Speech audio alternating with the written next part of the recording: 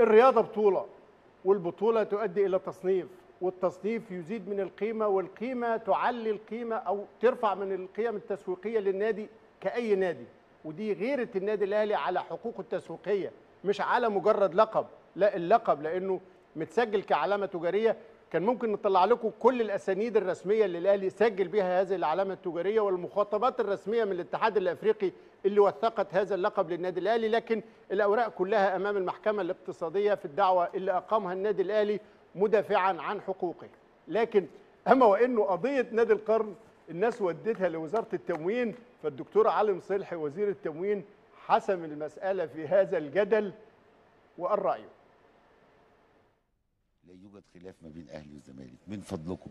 لا يوجد حاجة اسمها وزارة تموين ادت آه العلامة التجارية دي للنادي الأهلي أو ما اديتهاش للنادي الزمالك. افترض جيت قلت آه علي آه أشطر واحد في العالم آه أروح أسجلها؟ آه تقدر تروح تقدم طلب. إنما إنك تسجل؟ لا. هنشوف أنهي جهة علمية اعتمدت إن الدكتور علي أشطر. ثم ده بيتم تترك الدراسة لمدة ست شهور وده بالقانون الدولي مش القانون المحلي. ثم بعد ذلك بناء على ال- البحث والتدقيق في ذلك نقول آه والله آه الدكتور علي أطول رجل في العالم أو الدكتور علي أشطر رجل في العالم. إنما نرجع لموضوع النادي الاهلي النادي الأهلي جاب من الاتحاد الأفريقي بناء على نتائج معينة ولجان معينة إن هو نادي القرن في هذا الموضوع ولو مش غلطان كان 2007 ثم قدم ثم تم البحث وبنتأكد من مصادر هذه المستندات. ثم بعد ذلك تم تسجيل هذا الشعار. النادي الزمالك وكل تقدير لنادي الزمالك إن هو رئيس النادي تقدم بطلب إن هو يسجل هذا الموضوع.